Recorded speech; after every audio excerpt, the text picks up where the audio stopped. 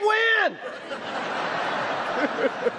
he is praying. So let's show some true strength in this nation, show our unity, our resolve, our innovative spirit in America, That is like so sad. and come out of this long term much better off. Not even going to say anything. It's so embarrassing. If we stand up to the bullies of the world, the autocrats and dictators, we, The autocrats and dictators. the autocrats and dictators, we stand up for those I find that hard to believe. who are are who are ready to unite. Hey, Joe. Hey, Joe. I'm over here. Who nearly gave his life for our country in World War II.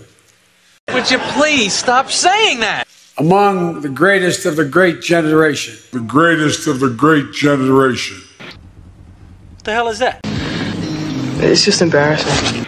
Now, we're, you always have to be uh, take a look, and no, no one is predicting a recession now. Predicting a recession now. Jesus, you got a one track mind. It's always Politics,